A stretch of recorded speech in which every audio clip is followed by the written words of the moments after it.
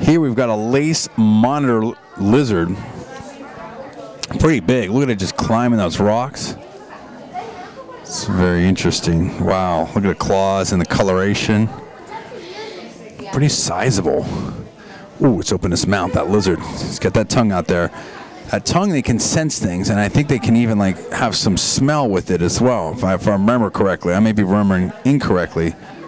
Cool looking lizard. Pretty big there. Let me know what you think about that.